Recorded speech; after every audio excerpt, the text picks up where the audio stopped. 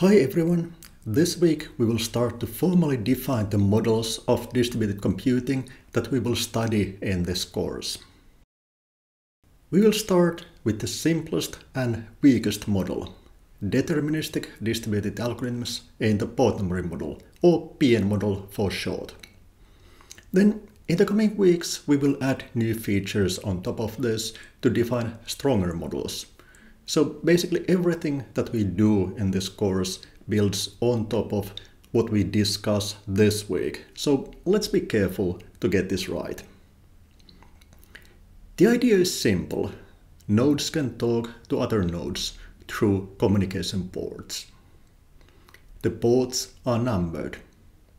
For example, here we have a node with three neighbors. So it has got communication ports number 1, 2 and 3.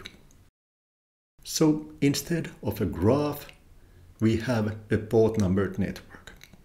Basically, the only difference between graphs and port numbered networks is that we have labeled the endpoints of the edges with port numbers.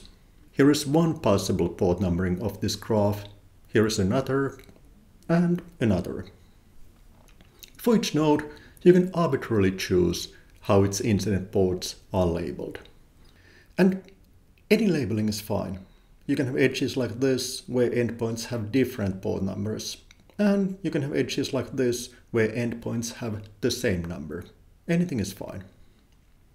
We can draw port numbered networks like this as a graph with port numbers added, or we can be a bit more explicit and represent nodes as boxes with ports and draw connections from port to port. Both are fine, but mathematically what we have is a structure like this. There is a set of nodes and a set of ports and a function p that indicates which port is connected to which. Notice that this function is its own inverse. If p of x is y, then p of y is x. If there is a connection from port x to y, then there is a connection from port y to x. Now, let's move on from port numbered networks to distributed algorithms. We assume that all nodes are identical and they run the same algorithm.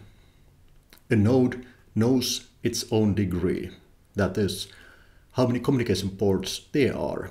So this node here knows it has got three ports, but that's it. Unless we explicitly assume some additional knowledge, all nodes of degree 3 are initially in the same state. There are no unique identifiers, we don't have access to randomness. Each node has a local state. We initiate the local state based on the degree of the node and any additional local input that we might have. Then computation proceeds in synchronous rounds. In each round, a node constructs one outgoing message per port. The message is some function of the current local state and the outgoing port number. So everyone in parallel constructs a vector of outgoing messages. Then, in the same round, the messages will move along the edges to their destinations and then everyone will have exactly one incoming message per port. And now each node can update its state. The new state is some function of the old state and the vector of messages that you received. And this is what we repeat forever. Construct outgoing messages, wait for messages to reach their destinations, update state based on incoming messages. Construct outgoing messages, wait for messages to reach their destinations, update state based on incoming messages, and so on. Some of the states are stopping states, and once a node reaches a stopping state, it won't change its state anymore. And we say that the algorithm has stopped when all nodes are in the stopping states. And then whatever are the final states will be the output of the algorithm. And the running time is the number of communication rounds until all nodes have stopped. Formally, an algorithm is just three functions, init, send and receive.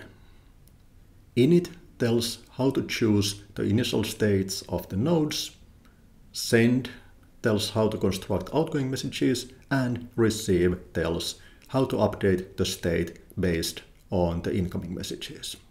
That's it. And notice that everything is deterministic. If you run a given algorithm in a given port number network, it will always produce exactly the same output. Good. So now we know this. What is a port numbered network? What is a distributed algorithm in the PN model? And exactly what happens if we run a given algorithm A in a given network N. But we'd like to be able to apply algorithms in all kinds of networks. And this is where things get really interesting. We will focus here on graph problems, something like graph coloring.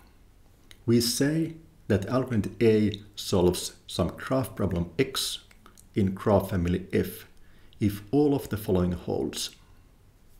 I can take any graph from the graph family. And I can choose any port numbering for the graph. And I can run algorithm A in this port numbered network and it will stop and produce the right output.